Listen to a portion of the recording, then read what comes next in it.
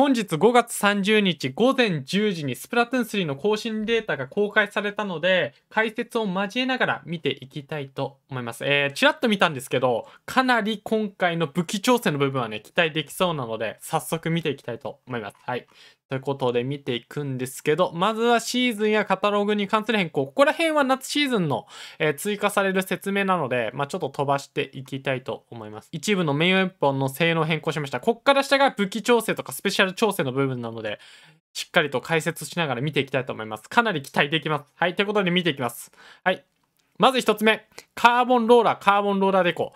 ZR を押し続けて縫いながら進むとき、これまでよりも約60分の10秒早くえー、最高速に達するようにしましたということで、まさかのカーボンローラー系が強化される。まあ、これはまめちゃくちゃでかい強化ではないけど、まあ、割と機動力が上がる、いい強化なのかなと。はい。続いて、北斎。え、筆を振る時のインク消費量を約6%軽減しました。え、ZR ボタンを押し続けて塗り塗りながら進む時のインク消費量約7%軽減しました。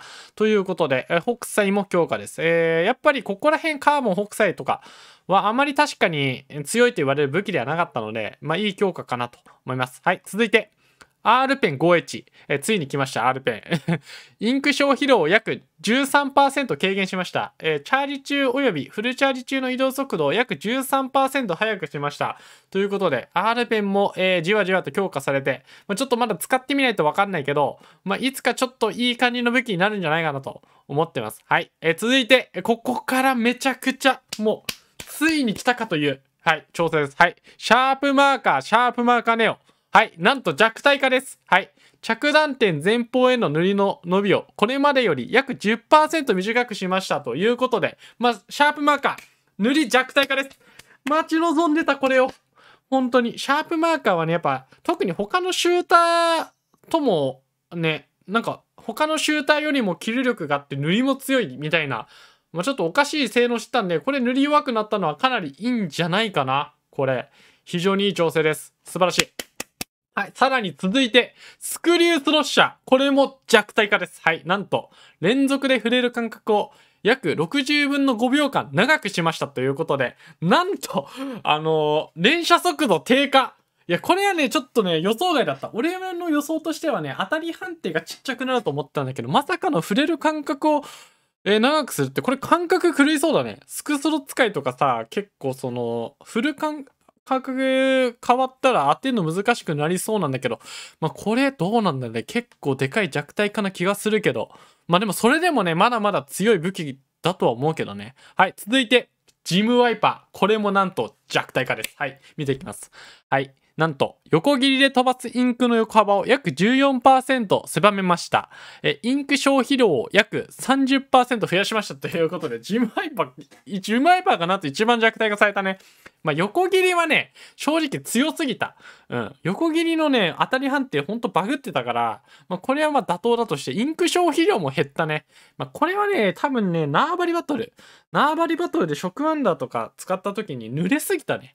あれはちょっとおかしかったんで、インク消費量減ったら、食アンダーもインクがなくなったら、あの、効果が切れるっていう効果もあるから、まあ、これで多分、縄張りバトルで触れる回数減って、ある程度その甲子園とかもジムワイパー使う人減るんじゃないかなと思います。はい。続いて、スペシャルウェポンの、えー、調整です。これも素晴らしい。はい。見ていきます。早速。はい。まず一つ目、グレートバリア。これ、なんと、強化です。もうこれが一番嬉しい。はい。読みます。はい。一つ目、バリアの最大半径を大きくしました。2つ目、一部のスペシャルウェポンから受けるダメージをそれぞれ、これまでの約50%から約75%のダメージになる範囲で 軽減しました。ついに来たついにグレートバリアが強化された。まあ、俺の持ち武器はスプラローラーなんで、グレートバリアなんですけど、本当に辛かった。うん、まだわかん、使ってみなきゃわかんないけど、特にこの2つ目の強化がでかいね。特に対スペシャルに弱すぎたから。グレートバリア、本当に。今、今の環境のままで説明すると、トリプルトルネードのたった1個で壊されるわけですよ。3つ投げれるやつなのに。なので、これでだいぶ壊されにくくなったのはでかいんじゃないかなと思います。はい。えー、続いて、エナジースタンド。え、これはね、正直俺、エナジースタンドね、えー、だんだんだんだん評価上がってきているスペシャルで、だんだん上位の人たちも、あれ実は今エナジースタンド強いんじゃねって言われてるんで、ちょっと強化されたのちょっと怖いね。はい。ってことで見ていきます。エナジースタンド。ギアパワー、スペシャル性能アップを装着してない場合のドリンクの効果時間を約2秒間延長しました。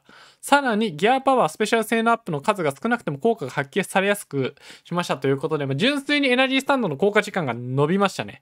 えっ、ー、と、これは、ん？装着、そうだね。うん。これ強いね。エナジースタンドもう結構やばいよ。本当に。初代スプラのゾンビゲー始まるかもしれない。エナジースタンド環境で。ちょっと怖いですね、これは。はい、続いて。はい。デコイチラシ。えー、やっぱデコイチラシ今日が来ましたね。はい、見ましょう。はい、デコイが落下した時に、えー、地面が塗られる半径を約40%お聞きしました。いいんか、そんなお聞きして。はい、続いて、デコイの爆発で与える最小ダメージを25から35に増やしました。これでかいね。えー、さらに、これまでより手前の位置を狙うようにしました。いや、これめちゃくちゃ強いね。特に縄張りやばくない縄張りバトルかなり強そうだけどね、これ。赤ザップとかやばそう。うん、40%大きくして、しかもデコイの最小のダメに35だから、3発、デコイの3個の爆発で死ぬようになったってことで、これ結構本当に壊さないと結構やばいスペシャルになったんじゃない？今、デコイチラシの武器が、デュアルスイーパーカスタムと赤ザップと、えー、クラッシュブラスターネオか。あ、まだ3個しかないのか。でも、デュアルスイーパーカスタム赤ザップあたりはやばそうだね。はい。で、この手前の位置を狙うようにしましたも結構でかい。今まで遠くの遠くにしか置けなかったから。自分の手前に置きたいっていうのに、それができなかったのができるようになったのはでかいね。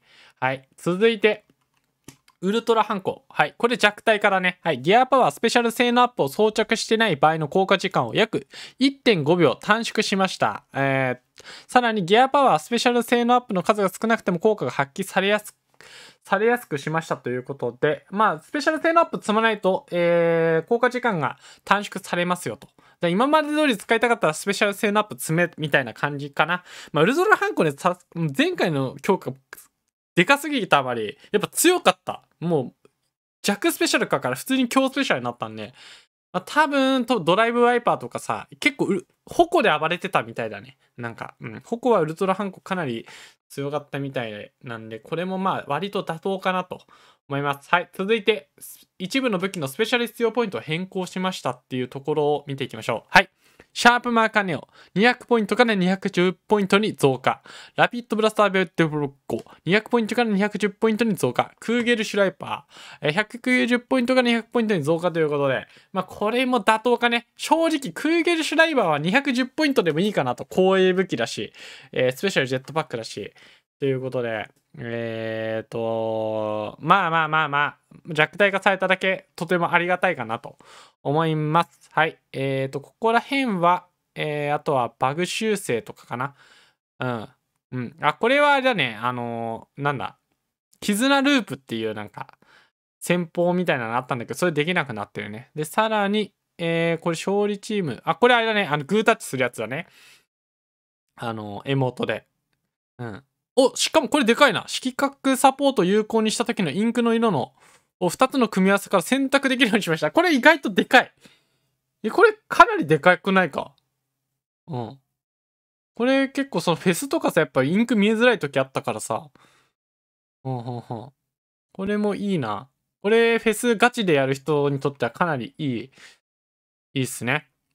はい。えーと、さらにスピナーを装備している状態でのエモート、武器ポーズ、ハイカラシティを行った時のアニメーションを調整しました。あれなんか変わった？これちょっと気になるな。はい。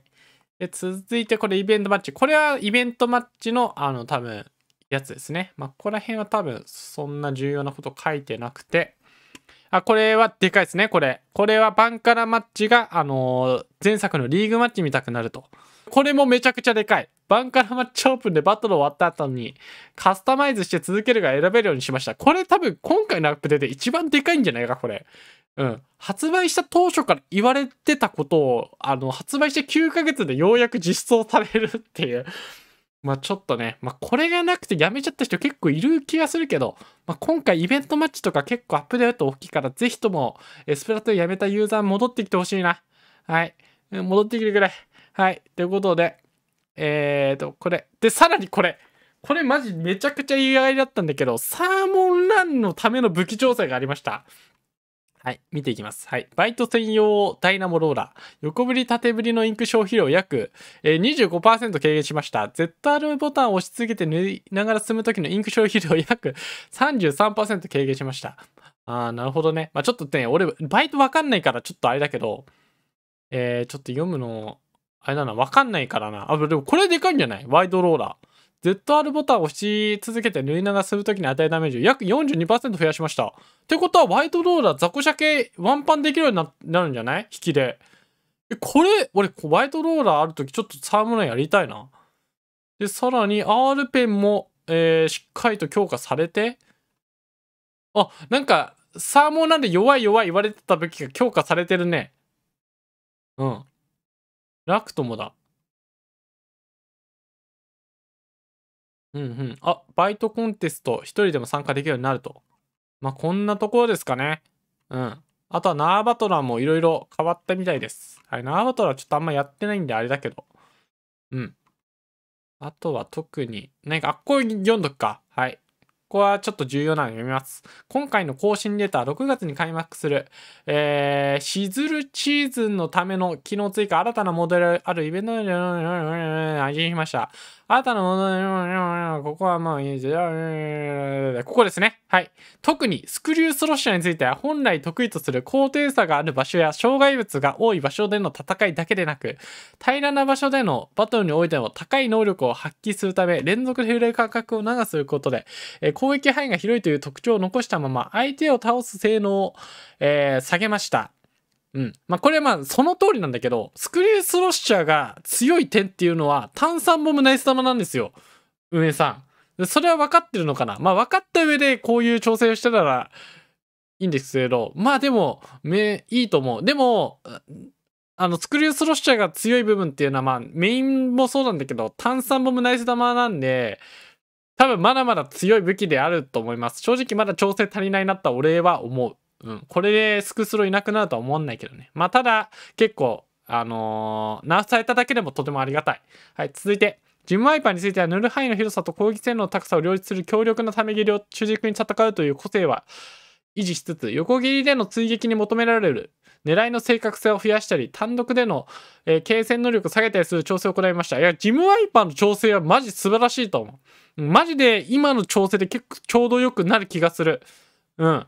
いや、これはね、素晴らしい。はい。さらに、シャープマーカーやシャープマーカーネオンについては、本来の得意とする距離よりも、遠くの相手と有利に打ち合えている状況をわずかに緩和するために調整を行いました。まさかの塗りの弱さではなくて、多分塗りの弱さで、最大射程の塗りの弱さで敵の足場を奪いにくくするして、えー、有利に打ち当てたみたいな認識だったみたいだね。まあでも確かにそれはあるかもしれないね。はい。で、続いての更新データは、あシズンシーズンの半ばに配信予定なんで、今までと特に変わらないっぽいですね。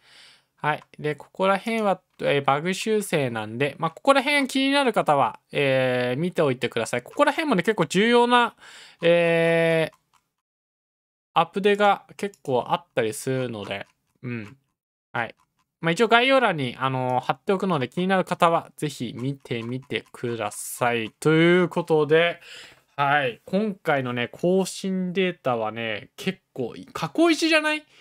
過去一で調整うまかった気するけど。いや、まだやってみないとわかんないけど、たようやく、その、スクスロ、えシャープマーカー系統、あとジムワイパー、ずっと言われてたから、ずっと調整してくれ、調整してくれって、えまあ、一般プレイヤーや、特に上位プレイヤーが言ってたんで、ようやく声が届いたなと思います。はい。ということで、えーぜひとも、えー次のシーズン楽しみだという方はね、えーチャンネル登録、高評価してもらえると嬉しいです。はい。ということで、次のシーズン、えーぜひとも皆さん楽しみましょう。ってことで、今日の動画は終わります。ってことで、バイバーイ。